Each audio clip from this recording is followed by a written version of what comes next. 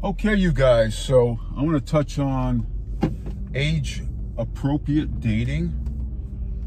There seems to be a lot of interest in that topic. And you know what I tell you guys?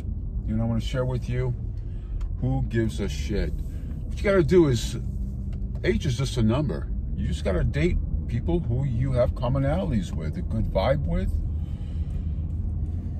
and uh, go from there you should worry about what other people think. It's not going to get you anywhere worrying about it. It's a waste of time. And age appropriate, as long as it's of legal age, you're good to go. You vibe with somebody, have commonalities, and you're attracted, and for whatever reason it is, enjoy life, you guys. Life is to live, and that's what you want to do. Enjoy life. There's too many people that want to direct other people or throw up expectations, and it seems like it affects a lot of people out there. And you shouldn't give a shit what other people think. You should just go out there and enjoy life. Make it happen for yourself. Life is short.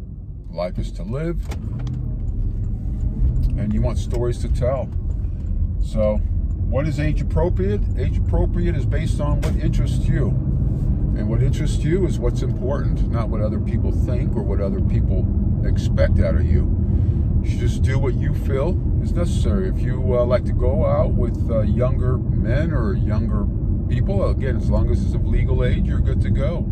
You vibe with somebody, age is just a number. Age is just a number. You should always remember that.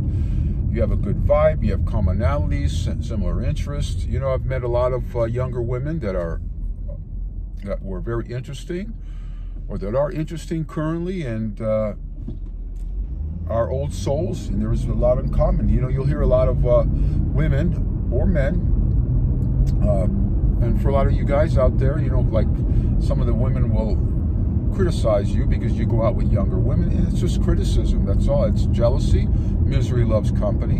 Again, by older guys going out with younger women, it takes a lot of older guys off the market for a lot of the uh, a lot of women of the same age or, or just a little bit younger.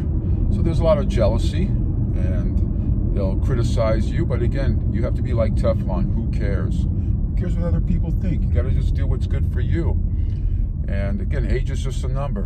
And a lot of younger women love, uh, are attracted to older guys for all their reasons, you know.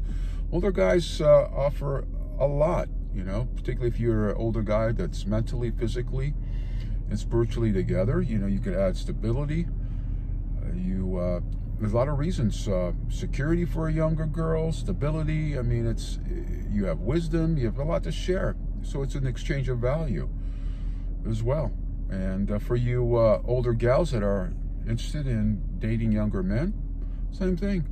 You know, I know a couple older gals right now. When I say older, it's just uh, late 30s, 40s, that are dating a couple of college boys or guys in their 20s.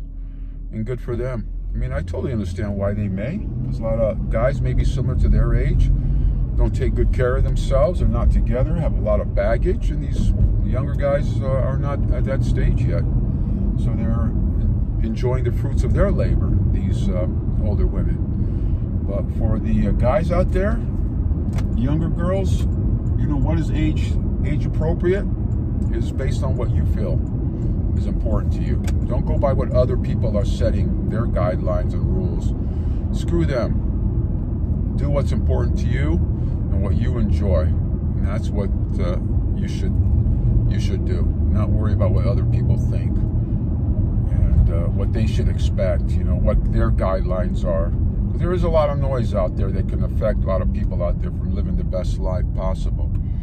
And you do not want that to affect you again, it's all about the vibe. Age is just a number.